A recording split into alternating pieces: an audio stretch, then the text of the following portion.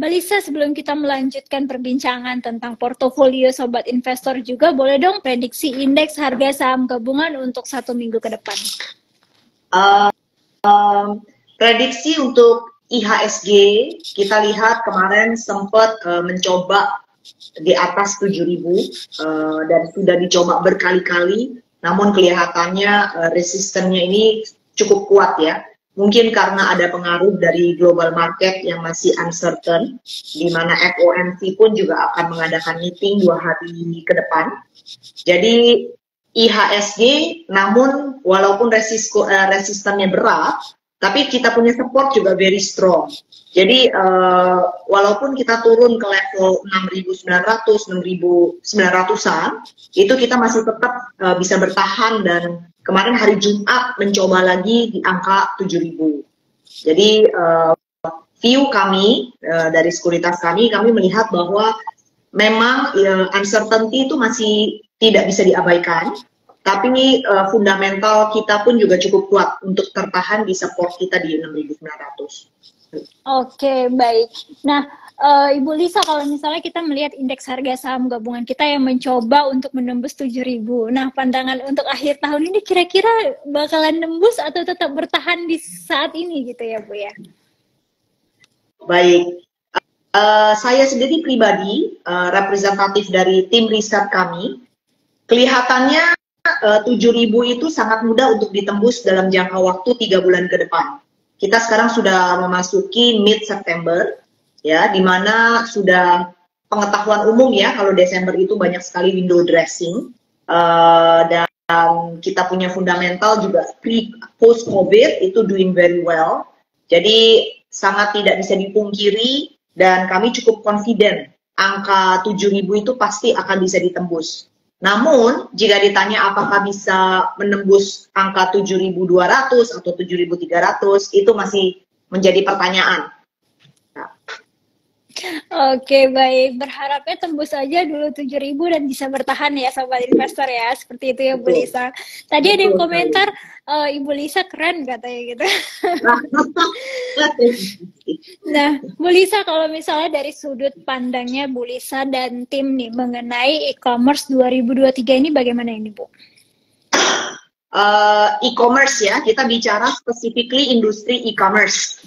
Uh, kenapa kakak memilih industri e-commerce, kayaknya saya sudah mendapat bayangan dengan adanya hot topic lately mengenai TikTok ya, TikTok e-commerce yang sempat uh, mencuri perhatian market share, maksudnya mencuri market share-nya Tokped maupun Buka dan Beli uh, dan sempat juga di ban akhirnya. Jadi kita melihat apakah masih ada prospek begitu ya kak ya. Uh, saya melihat industri ini masih akan menghadapi situasi yang challenging. Tidak akan mudah sampai akhir tahun ini mereka akan uh, mendongkrak dan naik secara signifikan. Considering there are other industries yang lebih menarik daripada industri e-commerce ini. Itu view dari kami.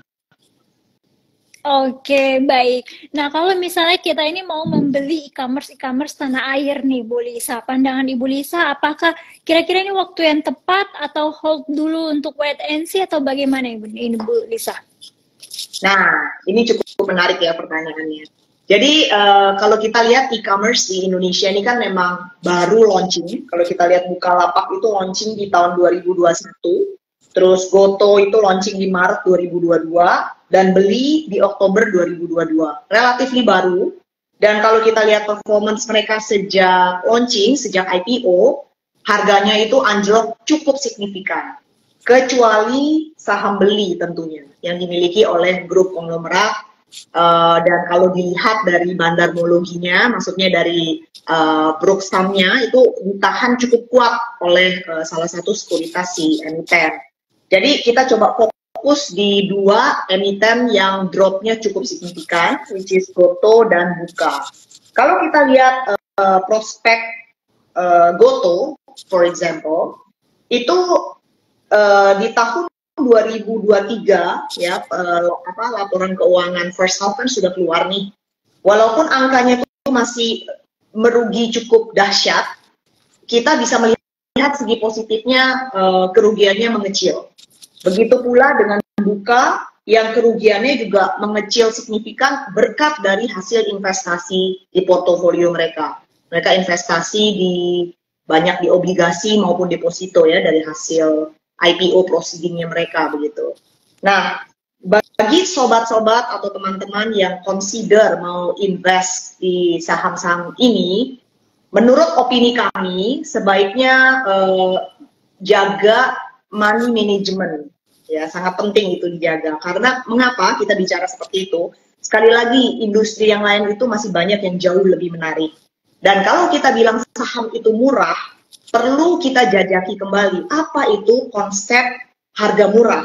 Ya jadi kalau kita lihat dari harga uh, price to book value berhubung ini hanya e-commerce hanya tiga yang berkecimpung di Indonesia kita tidak bisa membandingkan mereka dengan industri yang ada ya kalau kita banding kan dengan misalnya uh, global players like Amazon or Alibaba for example ya yang ada di negara Amerika itu mereka sudah lebih dulu berkecimpung di, di, di bisnis e-commerce dan mereka sudah mempunyai ekosistem yang sangat amat luar biasa ya. Uh, uh, mereka sudah punya iCloud mereka punya uh, apa namanya bisnis unit yang terintegrasi sehingga bisnis mereka pun juga sudah jauh di uh, lebih advance daripada bisnis e-commerce di Indonesia. Opini kami melihat dari ekosistem yang ada saat ini uh, cukup menarik ya. Goto dan Buka kita bandingkan mereka berdua. Itu mempunyai uh, target market yang berbeda-beda ya. Kalau Buka itu lebih ke B2B, sedangkan uh, Goto itu lebih ke retail. Dan Goto is also doing a very great job uh, membangun ekosistem yang cukup menarik kalau saya lihat. Dan mereka terus berinovasi untuk mencari uh, apa namanya memperluas lah, memperluas ekosistemnya mereka. Dan tidak bisa dipungkiri lagi yang cukup menarik adalah Bapak Patrick Waluyo sendiri turun gunung, ya turun gunung untuk uh, masuk ke dalam uh, bisnis babynya ini gitu. Jadi kalau kakak menanya bagaimana boleh nggak nih invest di tiga item ini apa tiga emiten ini? Ya diukur cash management tolong diperhatikan jangan semuanya cemplung ke industri ini karena masih banyak industri yang lebih menarik. Tapi kalau dari segi harga dari segi harga memang betul uh, Goto dan Buka saat ini at their very lowest point. Saya tidak bilang paling murah karena masih bisa akan turun of course gitu Oke, okay, baik. Jadi sebenarnya kalau misalnya kita mau berinvestasi di sektor mana pun tetap memperhatikan money manajemennya ya, Bu Lisa ya. Betul sekali. Oke, okay, baik. Dan jangan lupa sobat investor tetap menganalisa fundamental dan teknikalnya nih, pesan dari Bu Lisa tadi. Nah, Bu Lisa Betul. kalau misalnya kita membicarakan mengenai pergerakan saham ya. Nah, sebenarnya e-commerce ini sentimen-sentimennya apa saja sih yang mempengaruhi pergerakannya nih, Bu Lisa? Uh, uh, satu yang pasti sentimen dari global ya. Uh, kalau di Amerika ada tolak ukur yang namanya uh, ID, apa uh, Nasdaq ya yang mengukur tentang saham-saham uh, teknologi yang terjadi di situ.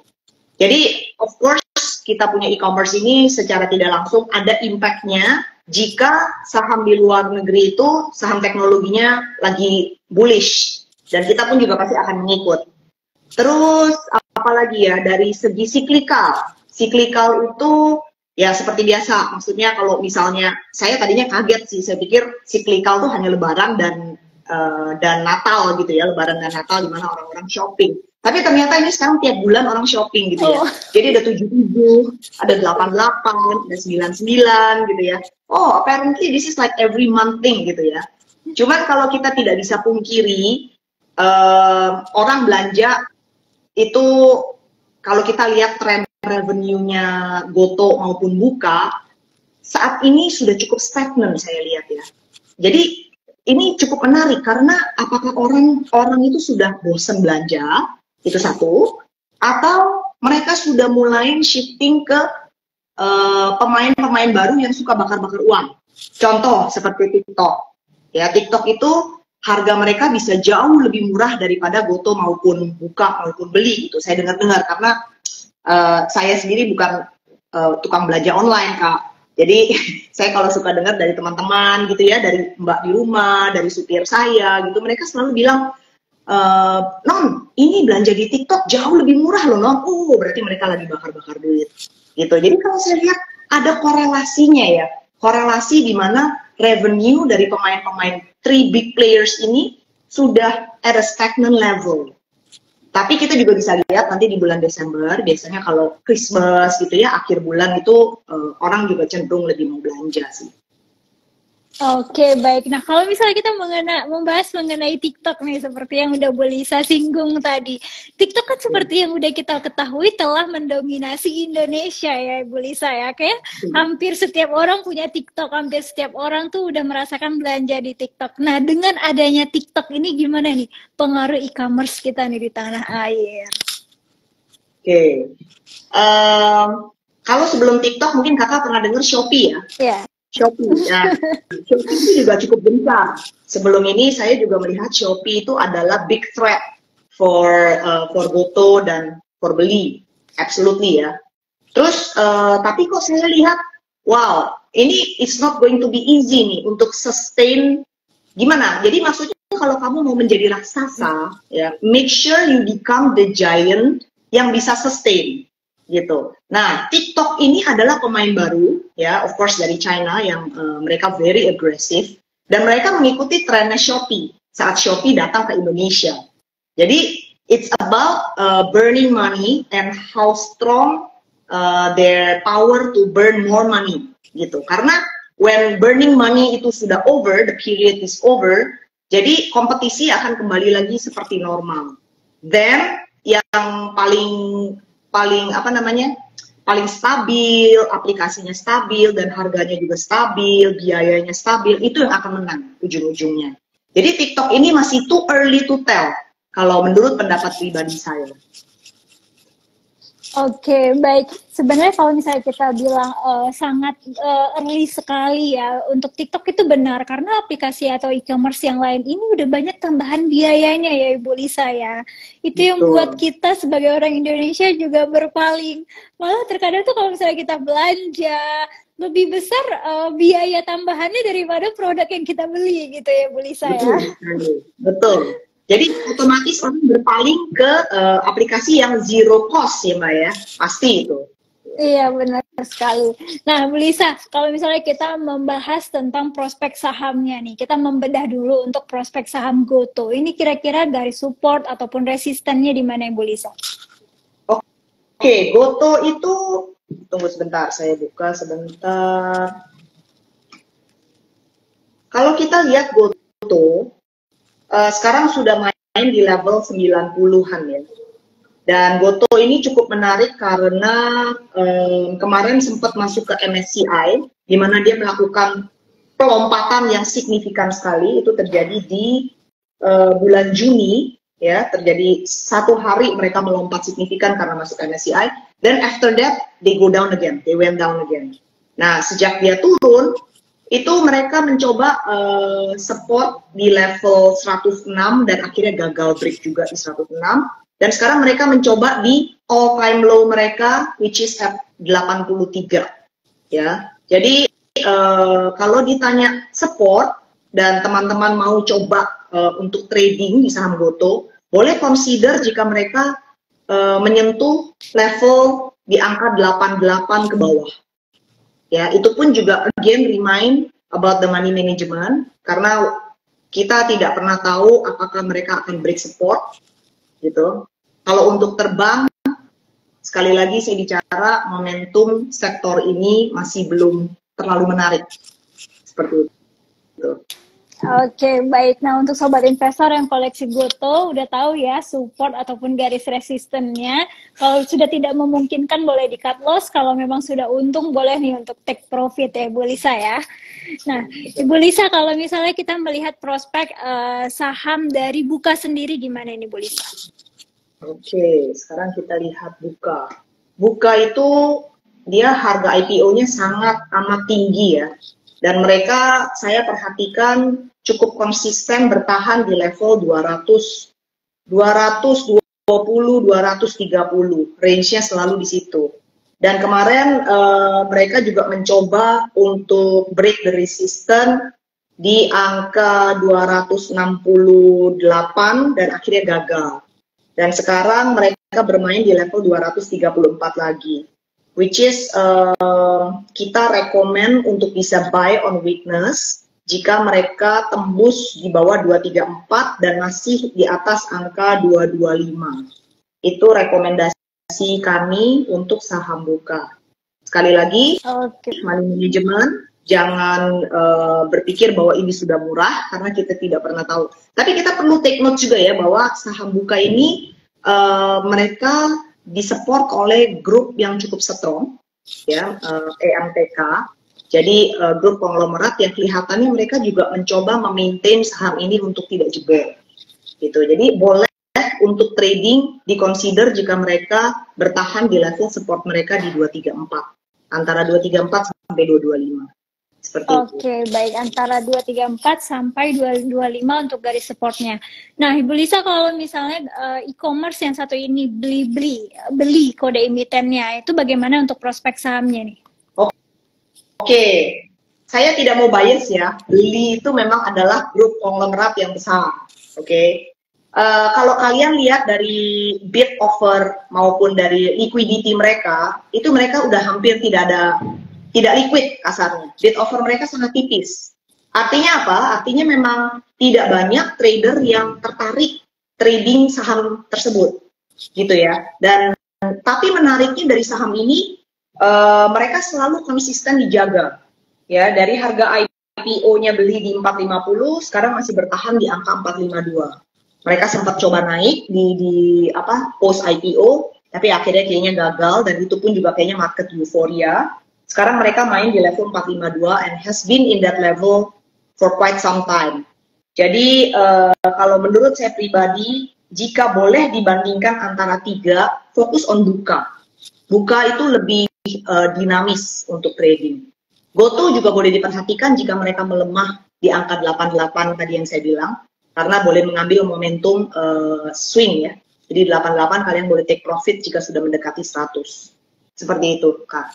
Oke, baik. Jadi yang liquid untuk trading ini ada pilihannya buka maupun goto yang memang bagus untuk trading pergerakannya ya, Bu Lisa ya? Betul. Bisa diambil okay. momentum. Oke, baik. Jadi jangan kebalik ya sobat investor ya. Nah, Bu Lisa ada pertanyaan dari sobat investor dari Etnanda Prayoga. Ibu, kalau pergerakan AMMN bagaimana? itu off topic nih mbak ya ini yeah. bukan bicara tentang sektor e-commerce yeah. makanya tadi saya bilang masih banyak sekali industri yang menarik gitu ya yeah. oke okay.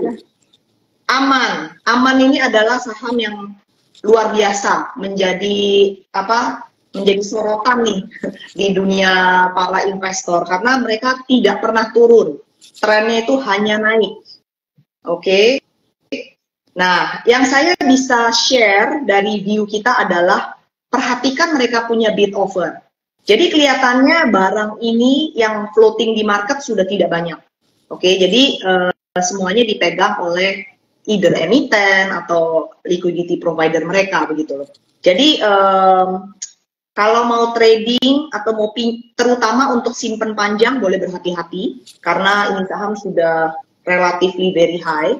Oke, tapi never say never karena kita sudah melihat Bian juga lari ke mana ya DMMX juga waktu itu larinya ke mana gitu kalau disuruh untuk crowd nggak terlalu menarik karena ini saham beredar di pasar sangat sedikit masih banyak yang lebih menarik Oke, baik. Nah, tadi sobat investor yang nanya siapa tadi? Yang Nanda Prayoga. Nah, udah tahu ya jawabannya kira-kira apa. Oke, baik. Bu Lisa, pertanyaan selanjutnya dari uh, sobat investor dari Ed Daniel Pranata. Ibu mau nanya, kalau per pergerakan BBCA bagaimana? Kemarin sempat naik, sekarang turun di 9 ribuan lagi. Oke, BBCA, the very expensive saham yang kita pernah tahu juga ya BBCA itu juga saham yang sangat solid dan saham uh, umat apa ber, apa umat berjuta berjuta umat. saham favorit. saham favorit betul. Jadi kalau kalian pegang BBCA mungkin saran saya kalian bisa enak tidur lah. Ya, tapi tidak bisa dipungkiri kalian yang mungkin masuknya di level 9.400 mungkin sekarang sedikit nervous karena memang mereka mencoba mendekati 9.000.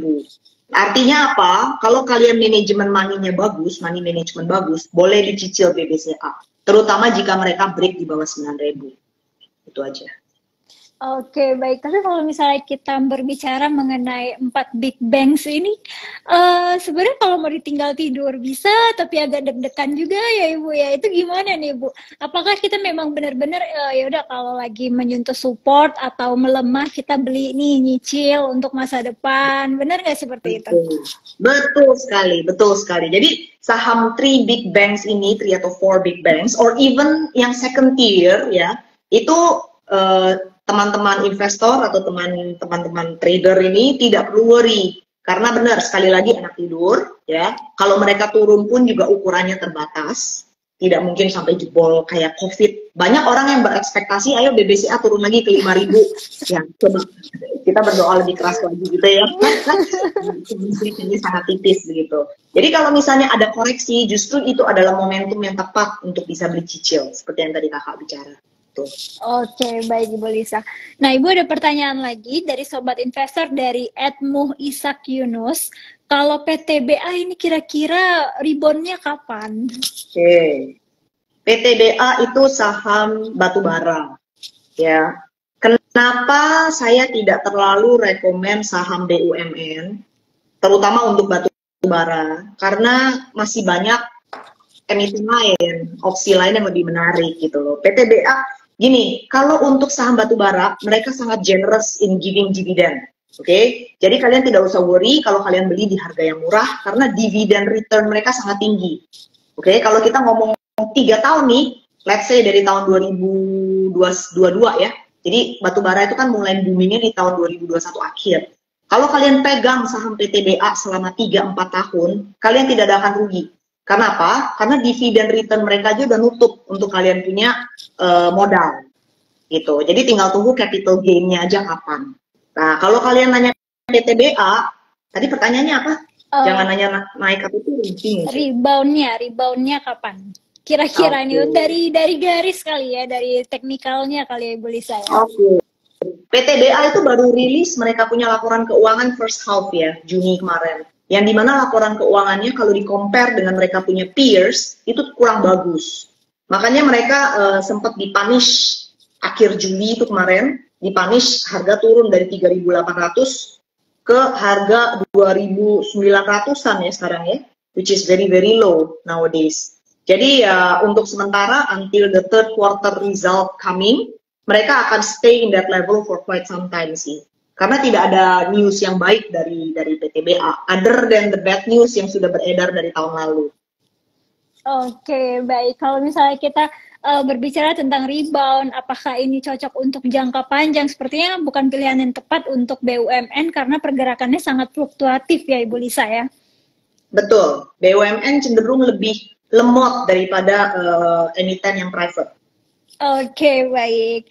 Nah, Ibu Lisa, kalau misalnya mengenai PGEO nih, ada pertanyaan dari Ed Suhani Tija. Apakah masih bisa terus naik lagi atau pergerakannya fluktuatif saat ini wait and see dulu? PGEO itu sekarang lagi naik daun karena maraknya carbon trading ya. Jadi memang momentum mereka ini sekarang mereka sedang naik daun dan sedang dipucuk nih teman-teman. Jadi kalau mau tanya berani masuk nggak atau boleh atau tidak? Untuk kalian yang scalper yang berani mengambil resiko dengan mengambil keuntungan less than 10%, boleh dikonsider sih. Maksudnya momentum is there. Uh, emiten ini juga in the bullish moment gitu. Oke, okay, baik. Nah, Ibu ada pertanyaan lagi dari sobat investor mengenai sektor pemilu nih. Dari Ed Erika.paramita. Menjelang pemilu, saham sektor apa yang bisa mulai dikoleksi ini, Ibu? Pemilu ya. Waduh. Um, jadi kalau berbau-bau politik sebaiknya kita kita rada kurangin dikit ya mungkin okay, pembicaraan politik kurang enak nih. Nanti disangka saya pilih siapa kan? Hmm, Kalau misalnya mungkin sektor-sektor seperti consumer itu terpengaruh nggak karena uh, adanya pemilu ini gitu? Ah, oke. Okay. Ya, betul. Kenapa sektor konsumer juga naik ya? Lately itu juga mungkin karena pemilu is one part, tapi lebih ke arah habis selesai COVID. Jadi people are spending more gitu. Uh, kalau pemilu saya rasa malah lebih ke left itu ke industri konstruksi menurut saya Konstru yang akan mengalami iya yang saat ini sedang tidur ya saat ini sedang tidur dan tinggal tunggu lagi berkuda-kuda gitu loh. Nanti kalau pemilu sudah ketok palu, less than six months ini ya, bulan Februari kan ya. Jadi kelihatannya uh, boleh dipantau sektor konstruksi, terutama semen-semenan uh, yang sudah at the very strong support saat ini. Oke, baik. Nah, sobat investor boleh ini dipantau, dilihat dulu untuk sektor konstruksi mana yang siap-siap mau dibeli ini ya, sobat investor ya. Nah, Ibu Lisa ada pertanyaan selanjutnya dari Ed Hafidrido. Kalau misalnya pergerakan BBNI bagaimana? Karena sudah lama sekali sepertinya sideways ini Ibu. BBNI ya. Tadi kita udah bahas ya Kak, uh, empat perbankan. Iya, tapi kalau secara detailnya belum. Oke. Okay. BBNI itu akan stock split rumorsnya. Tapi detailnya kapan saya masih belum terlalu yakin. 9 eh, Oktober. Oh, 9 Oktober 2023. Mereka akan melakukan stock split nih. Uh, kalau menurut pemantauan saya kelihatannya untuk naik lagi digenjot sudah cukup itu ya. Ngos-ngosan juga ya mereka ya. Jadi ya, sepertinya udah lama um, banget untuk sideways-nya. Benar, benar. Malah sudah cukup naik ini. Uh, sudah menyentuh di level 9.600 kemarin antisipasi uh, corporate action untuk stock split. Jadi yang sudah punya BBNI dan sudah bisa cuan, uh, happy cuan. Kalau yang belum, boleh dilirik saham yang lain. Oke, okay, baik. Kemarin yang ngambil BBNI waktu COVID lagi turun-turunnya itu, aduh enak banget itu sekarang mungkin ya. BMRI juga ya, kayaknya semuanya luar biasa tuh bang.